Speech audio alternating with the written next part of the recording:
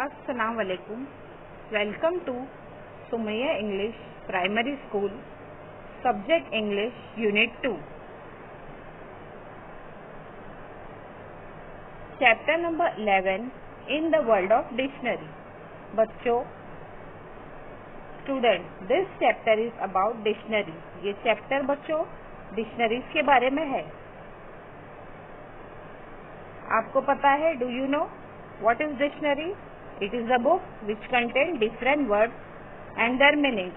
ये बुक है बच्चों, जिसमें बहुत सारे वर्ड्स हैं और बहुत सारे मीनिंग्स रहते हैं from which we are unfamiliar in our daily life जिससे हम अनफेमिलियर है, अनजान है हमारी डेली लाइफ में, रोज़ाना ज़िंदगी में। ये एक बुक है स्टूडेंट जिसमें बहुत सारे मीनिंग्स होते हैं अलग अलग तरीके के वर्ड्स होते हैं। Okay student In the classroom, the teacher is always available to the student to tell the meaning of new difficult words. Class में टीचर हमेशा अवेलेबल रहती है बच्चों के बीच में उनको अलग अलग हार्ड हार्ड वर्ड्स के मीनिंग बताने के लिए okay student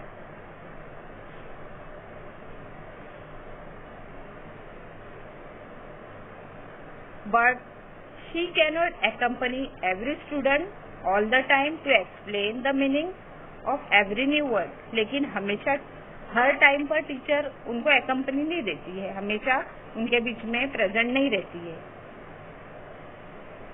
Grown up people who also help need in this respect इसी तरह से बच्चों के अलावा beside beside grown up people बच्चों के अलावा बड़ों को भी ज़रूरत रहती है अलग अलग तरीके के मीनिंग्स के मतलब बताने।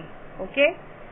जैसे वर्ड अलग अलग डिफ़िकल्ट वर्ड्स होते हैं बच्चों, उसके मीनिंग्स जानने के लिए सिर्फ़ बच्चों को ही ज़रूरत नहीं रहती है, बड़ों को भी ज़रूरत रहती है है ना? हमारी अलग अलग ज़िंदगी में, जैसे कभी कभी बड़ों को भी डिफिकल्टी होती है, कोई नया वर्ड सुन लेते हैं तो उनको मीनिंग फाइंड आउट करने का रहता है। Okay student a language has hundred of word in it हज़ारों वर्ड होते हैं एक लैंग्वेज में, कोई भी लैंग्वेज में, जिसके मीनिंग अलग अलग होते हैं। To solve all this problem we use dictionary ये सब प्रॉब्लम सॉल्व करने के लिए हम लोग क्या यूज़ करते हैं? Dictionary word in dictionaries are in alphabetical order dictionaries में वर्ड कैसे रहते हैं? अल्फाबेटिकल ऑर्डर में. Dictionary tell what word means dictionary क्या बताती है? वर्ड का मीनिंग क्या है? हाउ टू स्पेल उसे स्पेल कैसा किया जाता है? कि स्पेलिंग कैसी पढ़ी जाती है? How to word how word is pronounce और वर्ड को कैसे प्रोनाउंस किया जाता है, कैसे पढ़ा जाता है।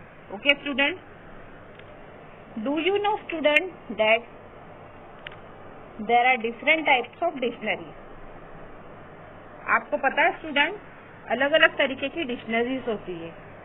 जैसे children dictionaries it is design specially for children it contains many pictures words games puzzle jokes ये डिक्शनरी खास करके बच्चों के लिए डिज़ाइन की हुई होती है और उसमें बहुत सारी पिक्चर्स होते हैं वर्ड्स गेम्स और पजल्स और जोक्स होते हैं। Okay student the next is dictionaries of synonyms synonyms means similar words that meaning है सिमिलर वर्ड एक ही वर्ड के दूसरे मीनिंग होते ओके okay?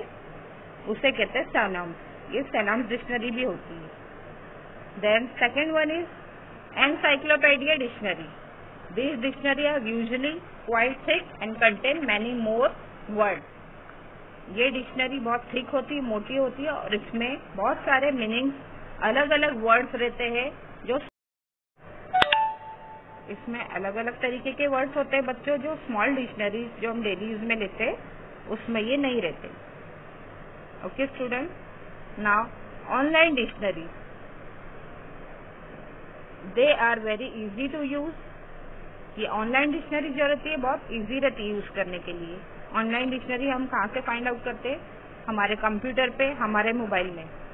उसे कैसे यूज़ करते you just type the word in your computer और इन योर मोबाइल जो वर्ड जिसका मीनिंग हमें फाइंड आउट करना रहता है, वो सिर्फ़ हमको टाइप करना रहता है, या तो हमारे मोबाइल में या कंप्यूटर में। And instantly you are shown its meaning और इंस्टेंटली हमें उसका मीनिंग स्क्रीन पर दिखाई देता है और उसका यूज़ भी दिखाई देता है etcetera okay student dictionary is must for a student students के लिए डिक्शनरी बहुत मस्ट है, बहुत ज़रूरी है क्योंकि इसमें हमारी बहुत सारी डिफिकल्टीज प्रॉब्लम सॉल्व होते हैं मीनिंग्स फाइंड आउट करने के। Okay student have you understood thank you